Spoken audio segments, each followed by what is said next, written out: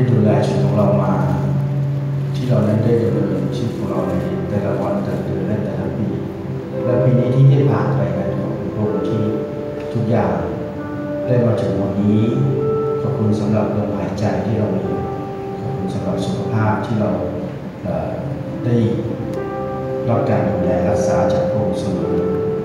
ขอบคุณสำหรับครอบครัวและพ่อแม่พี่น้องของเราขอบคุณสำหรับ ที่พระองค์ได้ทรงช่วยให้เราผ่านเหตุการณ์ต่างๆ ตลอดปีที่ผ่านมาพระเจ้าที่ทรงเป็นกำลังและเป็นที่ชูใจของเราเสมอทุกครั้งที่เราหันมาหาพระองค์เราได้รับกำลังขอบคุณสำหรับพระคุณความรักที่ในครอบครัวของเราเองและในครอบครัวของพี่จักรร่มเย็นนั้นได้มีความรักต่อกันและกันตลอดเวลาที่ผ่านมานี้ ระเจ้าสำหรับปี 2019 นี้ ไม่ว่าจะผ่านเหตุการณ์ยากลำบากหรือว่าจะผ่านความชื่นชมดีหรือจะผ่านสิ่งใดมาจนถึงวันนี้แล้วข้าพเจ้าทั้งหลายขอขอบคุณสรรเสริญพระองค์ในพระนามพระเยซูคริสต์เจ้าเมนเชิญนั่งครับก็อยากจะถือโอกาสนี้นะครับ ในนามของกรรมการของที่จักรร่มเย็น นะครับที่จะจะขอบคุณสมาชิก ปี 2019 เป็นปีที่ไม่เคยคาดคิดและเราก็ไม่เคยคิดว่าจะมีหลายอย่างเกิดขึ้นสำหรับคริสตจักรร่มเย็นเป็นปีแห่งการเปลี่ยนถ่ายที่ใหญ่ที่สุดที่เกิดขึ้นตั้งแต่คริสตจักรร่มเย็นได้ตั้งขึ้นมาก็ได้ ก็ต้องขอบคุณพระเจ้าที่พระองค์ทรงโปรดให้อาจารย์ดุชัยมีสติปัญญาที่ได้ วางแผนงาน การจัดการโครงสร้างต่างๆทางกรรมการ แล้วก็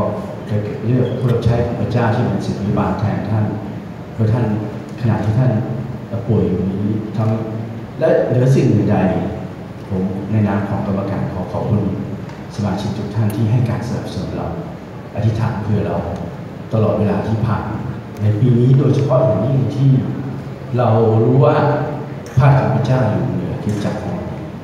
ของเราและขอบคุณสำหรับการสนับสนุน ทั้งการถวายก็ดีหลายสิ่งหลายอย่างครับ ผมดูเงินถวายแล้ว ผมรู้สึกว่าเป็น พระเจ้ายืนยันสิ่งที่พระองค์ได้สถาปนาคริสตจักรของเราไว้นะครับ แล้วก็หลายสิ่งหลายอย่างที่ดำเนินไป ไม่ว่าจะเป็นโครงการต่างๆที่ได้ดำเนินมา ผมเองมันร่วมกับภารกิจร่มเย็นและคริจักรร่มเย็นเนี่ย ถ้านับวันนี้30 ปีพอดีก็เป็น 30 ปีที่ได้เห็นหลายอย่างที่ผ่านมาจนถึงวันนี้นะครับ ได้มีการส่วนร่วมรับใช้พระเจ้ากับพี่น้อง แล้วก็เห็นถึงค่าความรักที่ท่านมีต่อพระเจ้านะครับแล้วก็รู้สึกดีใจที่เรานี้เป็นครอบครัวเดียวกันที่เราจะร่วมใจกัน ถวายเกียรติพระเจ้าที่จะทำภารกิจของพรงสำหรับเตรียมคริสตจักร เตรียมคริสตจักรให้เป็นเจ้าสาวที่ดีของพระเยซูคริสต์เจ้าของเรานะครับ ก็อยากจะบอกว่าในเราแต่ละคน ก็ต้องรับผิดชอบการทรงเรียกที่พระเจ้ามีต่อเราคือเราต้องดำเนินตามวิถีชีวิตของเราอาจารย์มีชัยพูดเสมอบอกว่าพระเจ้าเป็นเจ้าของคริสตจักรพระเจ้าจะดูแลคริสตจักรคริสตจักรไม่ใช่ของใครคนใดคนหนึ่งแต่เป็นของพระเจ้า และพระองค์จะพาท่านทั้งหลายเป็นลูกแกะของพระองค์และพระองค์เป็นพระเจ้าของท่านเป็นผู้เลี้ยงของท่านก็ขอให้ท่านนั้นได้ดำเนินชีวิตที่ใกล้ชิดกับพระเจ้า แล้วก็ฟังพระสุรเสียงของพระองค์และอยู่ร่วมกันสร้างคริสตจักรของพระเจ้าให้เจริญขึ้นเป็นที่ถวายเกียรติแด่พระเจ้านะครับก่อนที่จะได้มีการถวายทรัพย์ผมอยากจะนำวิดีโอหนึ่งซึ่งเป็นวิดีโอที่ผมดูทุกครั้งก็ จริงๆมันมีมากกว่าหนึ่งนะครับ ผมคัดมาหนึ่งเป็นคำอวยพรของอาจารย์เวชัยเมื่อ 31 ธันวา ปี 2018 เป็นงานออกนอกสถานที่สุดท้ายของท่านนะครับ ขอให้เราดูด้วยกัน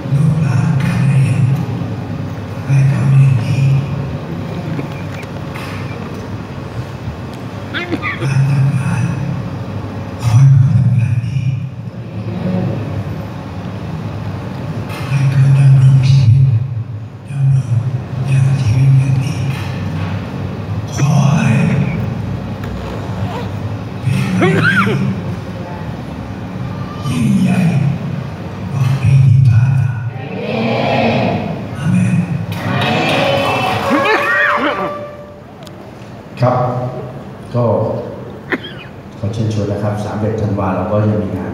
เขาดาวก็ปีนี้อาจารย์จีกับนำคิดก็มาประจำเหมือนกันนะครับ ท่านจะมาเป็นพระพรครับ เราจะรับพรนี้กับคำอธิษฐานนี้ที่อาจารย์ได้ใช้ไว้ก่อนะครับเราร่วมใจกันอธิษฐานสำหรับการถวายสัตย์ข้าแต่พระเจ้าขอบคุณพระองค์สำหรับ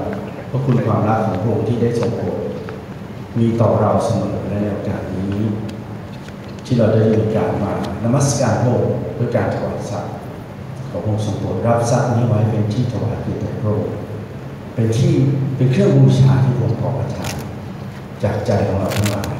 ขอพระองค์ทรงโปรดเป็นพระพรทุกคนที่อยู่ในที่นี้จะได้รับพรจากพระองค์จะไม่ขัดสนในสิ่งใดเลยขอพระองค์อวยพรเขาอย่างยัดสันแน่นของเราในพระนามพระเยซูคริสต์เจ้า